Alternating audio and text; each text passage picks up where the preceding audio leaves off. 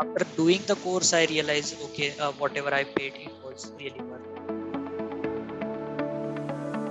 So i'm pankaj Mudade, and i'm working into it industry from almost last five years and like my skill set contain uh, java spring uh, like html database sql so, and now i can surely say that my skill set also contains spark and scala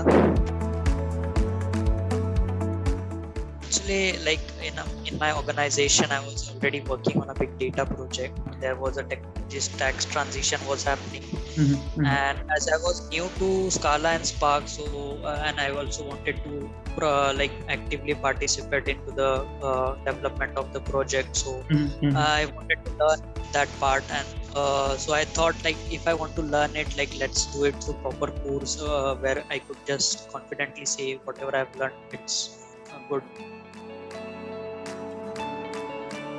While performing my assignments and the Mm. project actually I, uh, I was like working with the uh, support team. Like whenever i used to get a doubt i used to mail them. And uh, it was a quite fast response i got from them also. Like uh, Mhm. it was not like we are not going like it was they were always there, always there. Like uh, someone used to definitely reply to me